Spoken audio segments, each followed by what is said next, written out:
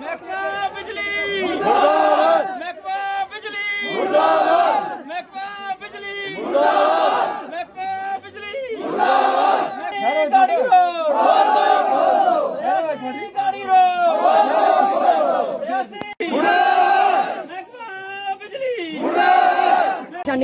बिजली महीने के दस दिन ही रहती है।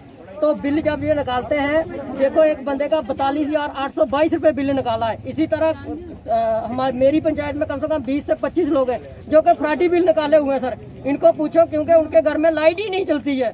ये ऐसे ही अनसरसरी बिल दफ्तर में बैठ के तो रीडिंग भर देते हैं, सर। उसके साथ, सर, हमारे गवर्नमेंट तो कहती है कि हम गरीबों के साथ, एक नरलू टू तुली बनना, सर, रोड का काम लगा था, जो कि मार्च में, सर, काम खत्म कर दिया। आज तक उस लेबर को, सर पेमेंट नहीं मिली है।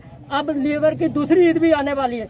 इसी तरह, सर, तीसरा पी पीएमएवाई के जो मकान आ रहे हैं, सर, एक लाख तीस तीस हज़ार रूपया मिल गया है, सर। अब हम कई बार दफ्तर गए, वो बोलते हैं कि इनके हमने जो तीस तीस हज़ार रूपया बकाया, वो बोलते हैं हमने ऑनलाइन ही नहीं किया। क्या ऑनलाइन हमारे लोगों का काम था करना, वो डिपार्टमेंट का काम था करना। आज तक, सर, उन्होंने वो ऑनलाइन नहीं किया है बिजली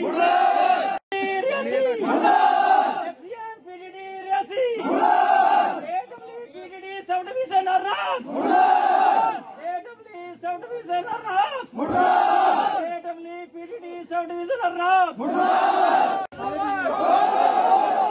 बिजली का जो मकसद था, फरवरी महीने में मैम डीसी साहब ने थनपाल में एक मीटिंग बुलाई जिसमें एक्सीएन और एसी वगैरह सारे वहाँ पे आए ईडब्ल्यू वगैरह, और एक तरीका बनाया गया कि बिजली इस एरिया में ठाकराकोट में कैसे चलाई जाएगी। और एक महीना हमारी, बीस दिन हमारी बिजली चली, उसके बाद हमारी पूरे ठाकराकोट में बिजली बंद हो गई।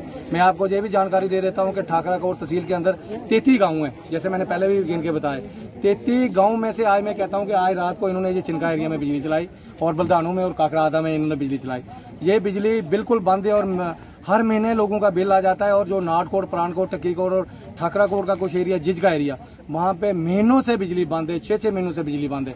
ये हम कहते हैं कि ये बिजली हमारी अगर हम एक दो हफ़्ता देखेंगे, अगर ये सही तरीके से चलाते हैं, पूरे तहसील ठाकराकोट में तो हम बिल्कुल किसी एडमिनिस्ट्रेशन के खिलाफ नहीं, किसी बिजली वाले के खिलाफ हम नहीं है। मगर हमें रोड पे तब उतना पड़ा जब हमें जहाँ पे बिजली नहीं और गर्मियों में हम लोग तब रहे हैं। रोड का जो मसला हमारा है एक हफ़्ते से हमारी गाड़ियाँ बंद की हैं। आज का जो दिन है, आज का जो सीज़न है, जुलाई और अगस्त में, आज हमारे बच्चे और हमारे बड़े लोग जो होते हैं क्योंकि ये एक वो दिन होते हैं, सब बीमार लोग होते हैं। कल मैं जब रियासी जा रहा था, रास्ते में छह, सात औरतें अपने बच्चे उठा के रियासी जा रही थी। मैंने कहा, आप कैसे जाओगे? कहने लगी, पैदल जाएँगे, ध्यानगढ़ से गाड़ी पकड़ेंगे। और पैदल वो औरतें रियासी अपने बच्चों को लेके गई। मैं कहता हूँ, एडमिनिस्ट्रेशन से अगर ये हमारी मेडिकल सुविधा इस एरिया में कर देते हैं, हमें रियासी जाने की क्या ज़रूरत है? डीसी मैम जो रियासी में बैठी हैं।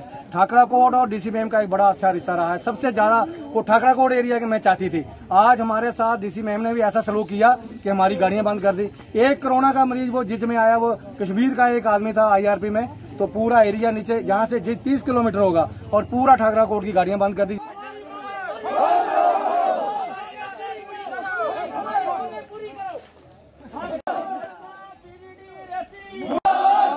महकमा बिजली महकमा बिजली महकमा बिजली महकमा बिजली महकमा बिजली AW south division Arnas AW PTD south division Arnas महकमा बिजली हमें सड़कों पर आज मजबूरन इसलिए उतरना पड़ा कि एडमिनिस्ट्रेशन हमारी बात नहीं सुन रही। है।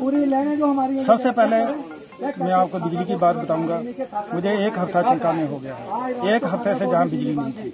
एक जई है बेचारा। हम जई को फ़ोन करते हैं, वो दौड़ा दौड़ा कभी दरान में जाता है, कभी कहीं जाता है, कहाँ, कभी कहीं जाता है। वो कहता है, मुझे पीछे से बैकअप नहीं है जब तक मेरे ऑफिसर वहाँ से मुझे कोई सामान वगैरह मटेरियल वगैरह दे दें तो चलो मैं जैसे बिजली का भाई कुछ ना कुछ करूँ। लेकिन जो हमारा एक्शन और जो हमारा एडब्ल्यू है बिल्कुल नालायक अफसर है, इससे पहले भी ऑफिसर है। कभी बिजली की कंप्लेन नहीं हुई। कभी इक्का दुक्का कंप्लेन होती थी।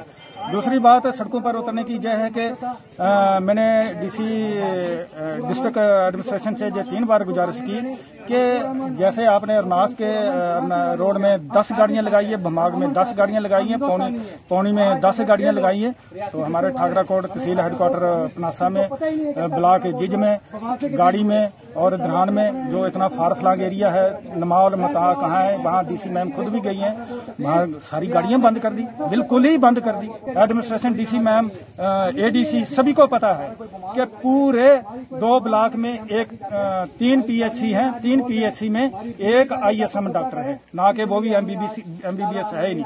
कोई स्टाफ नहीं है एक आईएसएम डॉक्टर है वो पूरे इलाके को संभालती है। क्या वो इतना इतने इलाके को कंट्रोल कर सकती है वो? एक आईएसएम डॉक्टर।